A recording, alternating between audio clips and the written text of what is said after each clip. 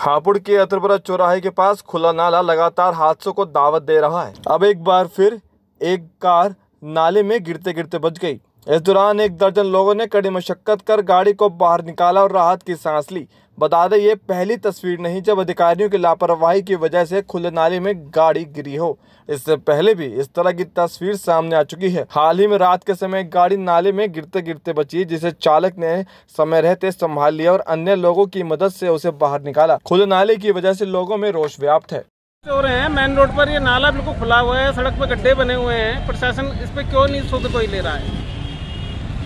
DM साहब को भी हमने लिखित में एप्लीकेशन दी हुई है उसके बावजूद भी इस पर कोई कार्रवाई नहीं चल रही है। इसमें परसों रात भी एक गाड़ी गिरी जिसे बीस आदमी ने मिलकर निकाला। अब भैया की गाड़ी गिरी इसका डंपर टूट गया अब भी दस आदमी ने मिलकर निकाला।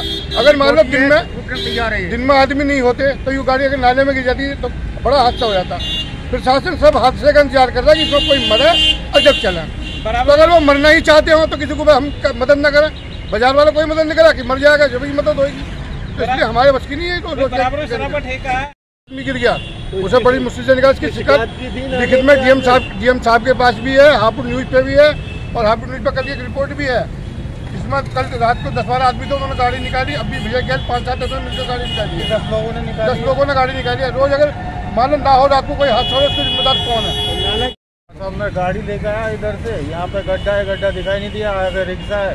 पूरे आगे का पहिया तो चला गया। डंपर टूट गया। डंपर टूट गया पाँच सात हज़ार रूपए का नुकसान हो गया। आपको बता दें कि पक्का बाग चौराहे से अतरपुरा चौराहा जाने वाले रास्ते पर मोबाइल मार्केट के पास की ये तस्वीर बेहद खतरनाक है। यहाँ नाले की पुलिया न होने की वजह से लगातार हादसों का डर मंडरा रहा है। राहगीरों स्थानीय लोगों की मांग है कि संबंधित विभाग इस ओर ध्यान दे।